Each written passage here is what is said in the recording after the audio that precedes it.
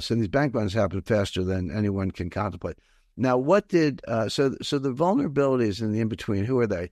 These are banks that have between uh, roughly 200 billion and 900 billion of assets.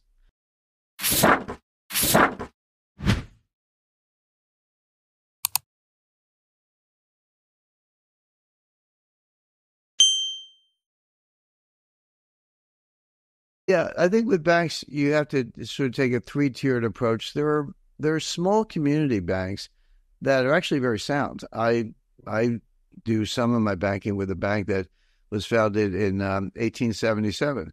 I figure, all right, you made you made it through the panic of 1907, the panic of 1898, the Great Depression, the tequila crisis, long-term capital, Russia, uh, Continental Illinois. You made it through all that, so you must be doing something right. um, and uh, yeah, yeah, look at the balance sheet, do your homework. But some of those banks are are just fine. Then there are the banks that are absolutely positively too big to fail. I mean, the technical term is globally systemic, important GSI institutions, and we know who they are. It's J.P. Morgan Chase, Citi, Morgan Stanley, Goldman Sachs, Wells Fargo, Truist. He's a dopey name, but Truist, uh, and and there there are a couple others on the list, and they are absolutely too big to fail. Which doesn't mean the stock price can does can't go down. See, that's the thing. If you're if you're a depositor, yeah, you care about bank failures, you care about FDIC insurance and so forth. If you're a creditor, note holder, you care about all this stuff. But if you're a stockholder, you can lose a lot of money in a bank that does not fail just because the, the equity takes a beating. But the real vulnerability is in between, not the little guys who have been around and who pass. Uh, by the way, a, a ratio that very few people look at that has become very important in determining the soundness of a bank look at the ratio of insured deposits to total deposits because deposits over $250,000 are not insured. Now, there's a whole bunch of technical, you can have two accounts and you and your wife can have separate accounts and you can go to separate bank. There are ways to get that insured balance up into the millions if you read the fine print on the FDIC website. But it's, it's, it's a, it's a lot of work and do read the fine print. But as a heuristic, as a rule of thumb, uh, $250,000 per account uh, in the same bank is the ceiling on uh, deposit insurance.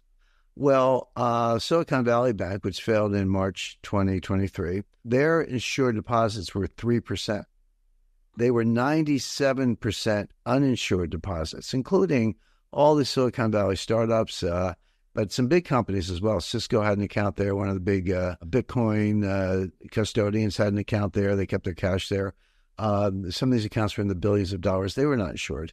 And so if there's a run on a bank and b- before the regulators even get out of bed, you know, depositors are taking their money out. Um, and it's not, we all remember, you know, grainy black and white pictures from the 1930s of guys in overcoats and fedoras lined up around the bank trying to get their money before the doors closed. And usually they didn't. But uh, the the 21st century equivalent of that is someone I don't have a cell phone with a cell phone doing an online withdrawal, sending it to another account, and then and texting their friends, "Hey, get your money out now." Happening at the speed of light and with exponential impact, uh, a little faster than word of mouth. It's like word of uh, text. Well, uh, to your point, uh, Sean, and you know the, the pardon me, the ticker changes all the time, but I just took a glanced at. It's actually 2470. Uh, you're right. It, it, it, got to the 2400 level and sustained that. You're absolutely right.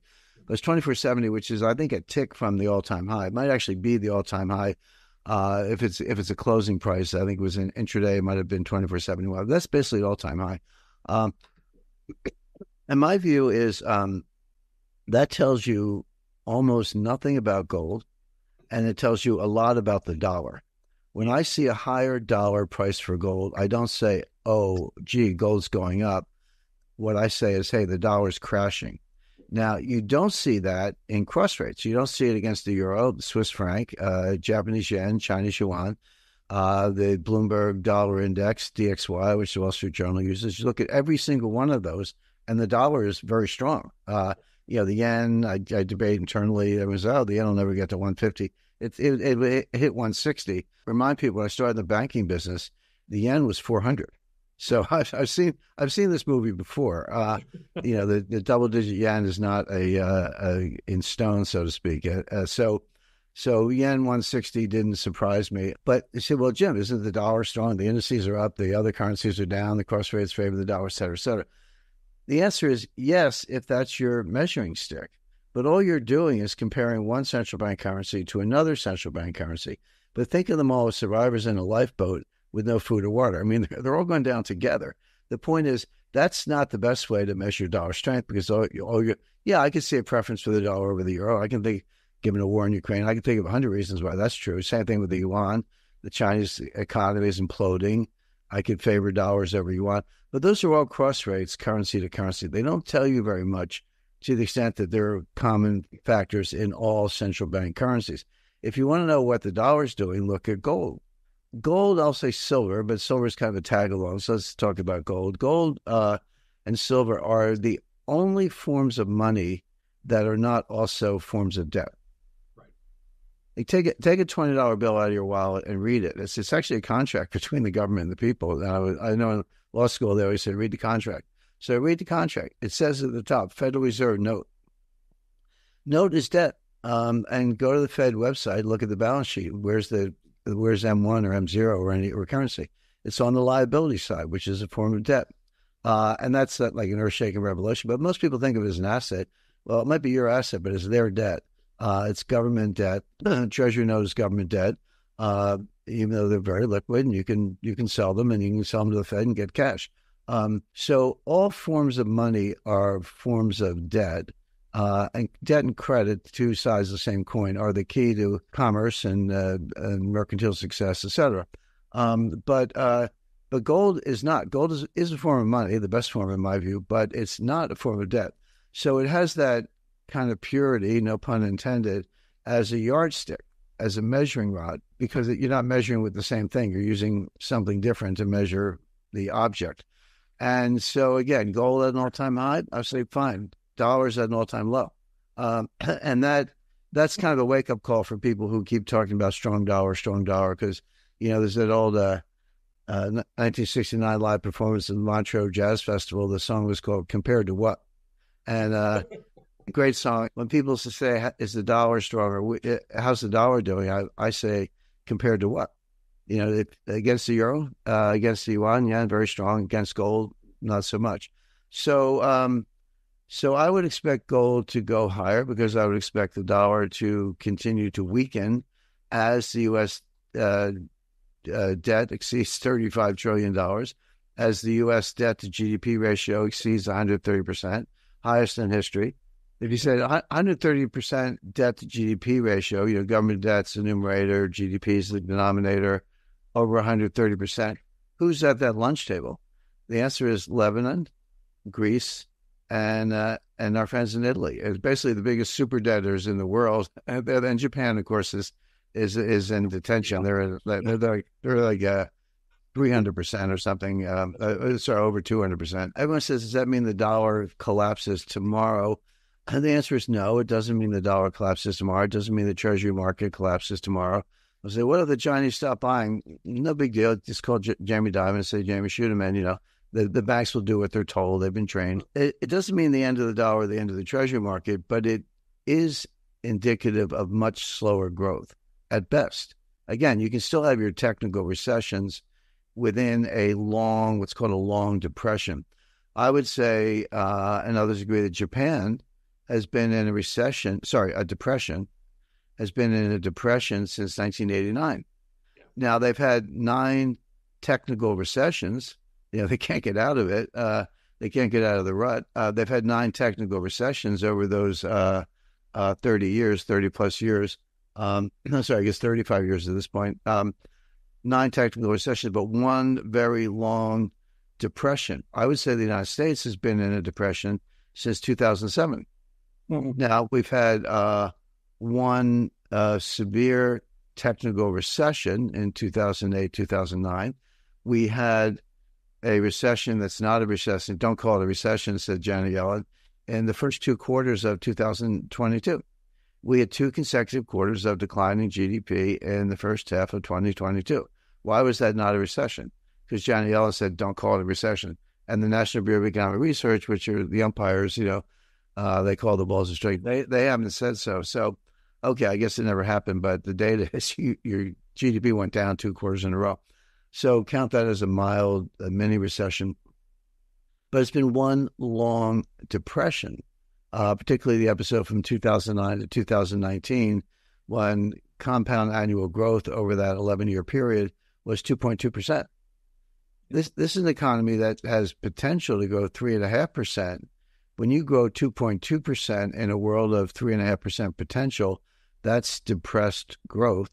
Uh, by the way, that delta between 3.5 and 2.2, it's, it's uh, approaching $9 trillion of lost wealth if we had had policies, including lo- lower deficits, that would have uh, allowed that to happen. So we're trying to borrow away out of a debt trap. It never works. The long term result can be, probably will be hyperinflation, but we're not there yet. Um, but what we should expect is exactly what we're getting, which is slow growth at best and periodic recessions at worst. And I think we're probably in a recession uh, right now. So, what does that mean for, for gold? Well, weaker dollar uh, measured in gold means a higher dollar price for gold. Central banks are net buyers, have been since 2010. That's continuing. Um, Americans don't get gold. They, you know, we're we're now into a third generation of people who have been taught nothing about gold in a monetary context. I always tell people if you know anything about uh, gold, uh, you either uh, you either went to mining college or you're self taught. But um, but we stopped teaching it, so it's not surprising that even you know quote unquote well educated Americans don't understand gold. Uh, it's routinely ridiculed on you know financial TV and elsewhere. But meanwhile, it goes its own way, and I think it's higher. And you know, twenty five hundred is just a uh, as uh, Mick Jagger said, this is a shout, just a shout away. So, um, but I would expect it to be on its way to three thousand sooner than later. The other thing, quick piece of, uh, I always try to keep the math at the sixth grade level. There's rarely any need to go higher um, uh, in, in terms of calculus or whatever, but people focus on the dollar increases in the price of gold. It went up $100 an ounce, or over time it went up $500 an ounce, et cetera. And that's fine, and that's real money, and that's your gain. But as the dollar price gets higher, each dollar increase represents a smaller percentage gain. So, for example, if gold goes from $2,000 to $3,000 an ounce, that's a 50% increase. But if it goes from $9,000 to $10,000 an ounce, that's an 11% increase still a thousand bucks. You made a thousand dollars an ounce on your uh, on your gold stash or your gold position or whatever. It's real money, but it gets easier uh, because the percentage gain is smaller as the denominator of the fraction increases. So what that means is this is how you get this is how you get bubbles. We're nowhere near a bubble in gold, but if it gets to the blow off bubble stage, and we'll we'll kind of keep an eye out for that down the road. But going to three thousand, four thousand, five thousand, six thousand dollars an ounce, each thousand dollar jump is easier than the one before because it's a smaller percentage jump. It goes from 50% to 30% to 20% to down to 10% or, or less. And so the time to get the gold is now before before the rocket ship really takes off. So these bank runs happen faster than anyone can contemplate. Now, what did uh, so so the vulnerabilities in the in between? Who are they? These are banks that have between uh, roughly 200 billion and 900 billion of assets so it's not JP Morgan, but it's not my local bank either. I actually don't want to mention names. They're pretty easy to find the list, but uh, everyone knows who they are. I don't want to start running on any banks, but I would look at a double metric. I would look at uh, 200 billion to 900 billion in total assets and a insured deposit to total deposit ratio of under 30% if if that's who you are, you are extremely vulnerable, and those are the banks I would get my money out of. Even though they're not technically too big to fail, they're not classified as GSIs globally, uh, systemically important. The Fed's not going to let them fail in terms of depositors, but they will let them crash and burn in terms of stockholders. And that stock can go to zero even if the depositors are bailed out. Now, what actually happened in Silicon Valley Bank, it wasn't just Silicon Valley Bank, it was um, Silvergate Bank, Silicon Valley, Signature Bank, with Barney, uh, Barney Frank on the board, by the way, uh, our, our, friendly bank uh, regulator from the House of Representatives at the time, and then um, Credit Suisse, one of the largest, oldest banks in the world, and First Republic, which is one of the largest asset managers around. They failed in pretty close sequence, four of them within three weeks or less, and then the fifth one fell about a month and a half later. But what did the Fed and the FDIC do to stop that uh, cascade of bank failures? they guaranteed every deposit in the system. They said, forget about the $250,000. Were guaranteeing everybody. They didn't. They didn't do that at first, by the way. With Silicon Valley, Friday night they said 250 is the limit. Uh, if you're over that, we're giving you as a certificate. Basically, the, the the bank had been taken over, placed in custodianship, and that we'll give you a custodian certificate, and we'll get back to you on what it's worth. We got to sell the assets first, or do a merger, or something. We'll get back to you. But it was illiquid. You didn't know what it was worth, and you didn't know when you were going to get paid. But your deposit was gone. That was kind of what the G7 said in Brisbane in 2014. That was the bail in, not the bail out. 48 hours later, they said, just kidding. Uh, all the deposits are insured, uh, no limit. You know, it was, you know, Bill Ackman, all the Silicon Valley crybabies ran to the White House and they got what they wanted. But they did something else. The Fed created a facility that said to every bank, if you own U.S. Treasury securities, you can uh, borrow the face value from us give us the securities as collateral. We'll give you the cash, a one year loan. I'm sure the interest rate was like 1% or something like that, regardless of the fact that the securities were only worth 70 cents on the dollar. Because a lot of the securities had been bought when interest rates were one and a half, 2%, and in the meantime, interest rates had gone to five and a half percent, those bonds were way underwater, depending on the maturity, down 20 to 30 percent. And the Feds, and if you marked them to market, those banks would clearly have been insolvent. The Fed said, again, never mind, we'll give you 100 cents on the dollar, even if the bonds are only worth 70 cents on the dollar. I, I tried to find someone at the Fed I could call and see if they would take my used car on the same uh, same math, but uh, was unsuccessful. That that facility got to be several, several hundred billion dollars in a very short period of time, which shows how illiquid a lot of these banks were. Here's my question, Sean. When the bank crisis comes back, and I would say it never really went away, but you know we're at a we're in a timeout, halftime. We're in the locker room, so we're going to get back on the field.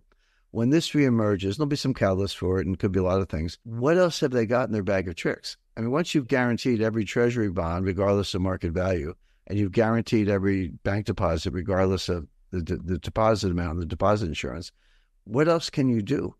Well, the answer is you can nationalize the banks, um, but that means wiping out the stockholders. And so, uh, again, if you're a depositor, I personally wouldn't take chances, but you may get by as they did in Silicon Valley Bank.